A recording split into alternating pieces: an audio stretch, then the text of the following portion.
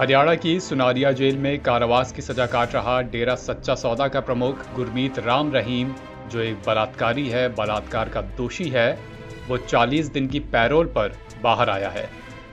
Jail से बाहर आकर गुरमीत राम रहीम ने अपना एक वीडियो भी बनाया है, इसे जारी किया है, जिसमें वो अपने तमाम समर्थकों के नाम संदेश जारी करता दिख रहा है। ये कदम, यानी उसके पैरोल पर बाहर आने का कदम, आदमपुर विधानसभा उपचुनाव से ठीक पहले उठाया गया है। आदमपुर में तीन नवंबर को उपचुनाव होने हैं।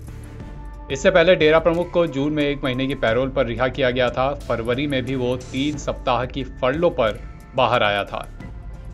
गुरमीत राम रहीम डेरा के सिरसा स्थित मुख्यालय में अपने आश्रम पर महिला अनुयायियों से बलात्कार का दोषी है।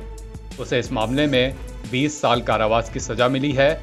अगस्त 2017 में पंचकुला में सीबीआई की एक विशेष अदालत ने उसे दोषी ठहराया था। फ़िलहाल 40 दिन की पैरोल पे बाहर आके उसने अपना एक वीडियो बनाया है और जारी किया है।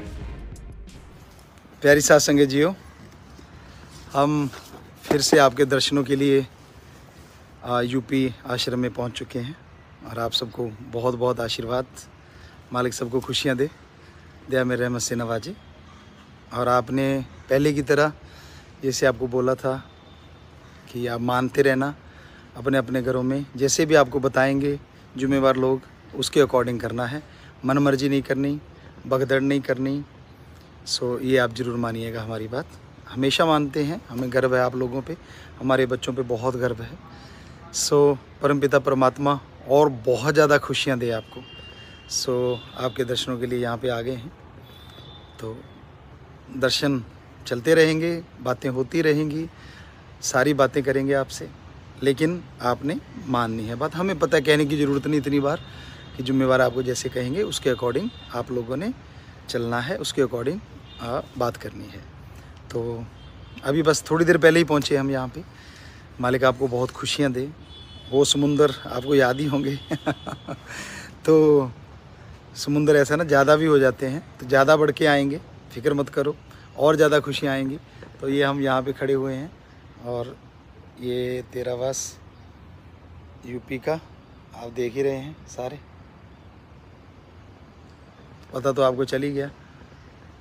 तो बहुत बहुत आशीर्वाद। फिर बात करेंगे। बातें करते ही रहेंगे आप लोगों से। बस आप जुड़े रहना, बातें करते रहना।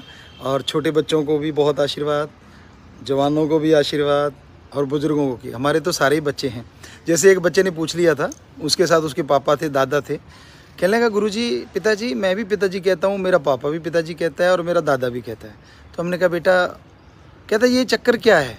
हमने कहा, बेटा, जो तेरी समझ में नहीं आएगा, पर बता देते हैं, संत जो होते हैं, उनके लिए भगवान की औलाद, अपनी औलाद होती है। तो इसलिए पिताजी कहते हैं सारे, क्योंकि हमारे सारे बच्चे हैं, जो भगवान की औलाद हैं, वो हमारी औलाद हैं। तो सारों को आशीर्वाद, सारी भगवान की औलाद को आशीर्वाद, भगवान सबको खुशियाँ दे, अंदर बाहर से माला माल करे। बहुत आशीर्वाद। आशीर्वाद गुरमीत राम रहीम को 2002 में डेरा प्रबंधक रंजीत सिंह की हत्या की साजिश रचने के लिए भी पिछले साल चार अन्य लोगों के साथ दोषी ठहराया गया था। एनबीटी ऑनलाइन की रिपोर्ट।